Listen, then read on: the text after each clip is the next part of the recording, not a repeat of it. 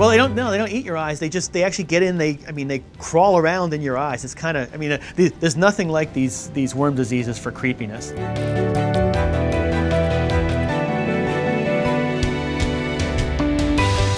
Like the, the worms that cause um, elephantiasis, that swelling in the legs, or river blindness, where, where they get into your eyes and you can't see. A quarter of the people on the planet have these parasitic worm diseases.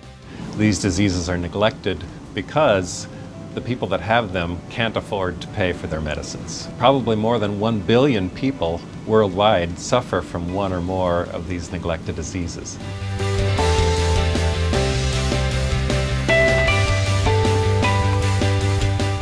I'm originally from West African region where uh, where all the diseases are very prevalent. So I was very excited to be part of the team.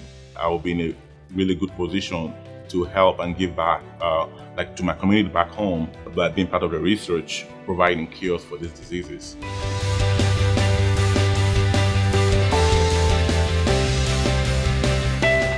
As, as scientists in drug discovery, we are at one end of this continuum of the whole drug development process.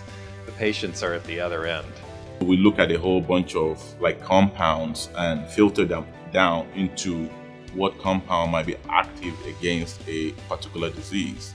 The, the lead molecule that we got through our screening program has a really exciting profile. Uh, and the problem is that it only has that profile when we give it by injection. Our goal is to try to find um, a way that we can change this molecule so that we get the same effect when you take it orally.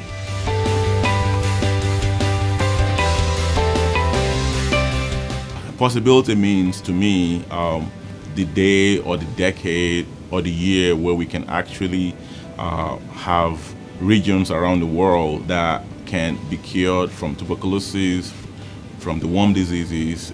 That would improve the lives of millions and millions of people who have these diseases.